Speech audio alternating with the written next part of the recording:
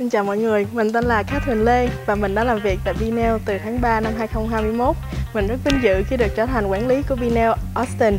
Hôm nay mình muốn chia sẻ trải nghiệm tuyệt vời của mình khi làm việc tại Bineo và lý do tại sao Bineo là một môi trường làm việc hoàn hảo. Trước tiên, mình có thể tự kiểm soát công việc của mình tại Bineo. Khi mình không thể đến salon, mình có thể tự chủ động, cắt giờ mà không bị ảnh hưởng đến khách hàng. Ngoài ra, mình cũng không cần phải lo làm nhanh để lấy thêm vì hệ thống đã chia sẵn khách hàng cho mình rồi. Lý do thứ hai chính là mình chỉ cần tập trung vào công việc của bản thân. Bineo luôn luôn có nhân viên lễ tân và dọn dẹp cho nên mình không cần phải lo vào việc thanh toán hay dọn dẹp, mình chỉ cần tập trung chăm sóc khách hàng mà thôi. Quan trọng nhất là Bineo là một môi trường hoàn hảo để nuôi dưỡng tiềm năng và niềm đam mê vẽ vời của mình. Bineo luôn mong muốn các bạn được thể hiện hết khả năng của bản thân và mang đến cho khách hàng những dịch vụ tốt nhất.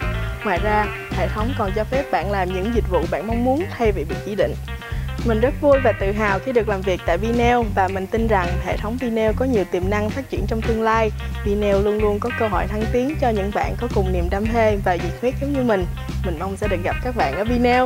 Cảm ơn các bạn và mình rất vinh hạnh khi được làm đồng nghiệp của mọi người.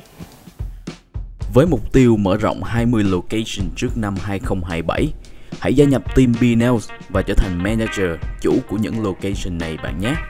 Liên hệ ngay cho em Emmy 806 656 1436 ngay hôm nay.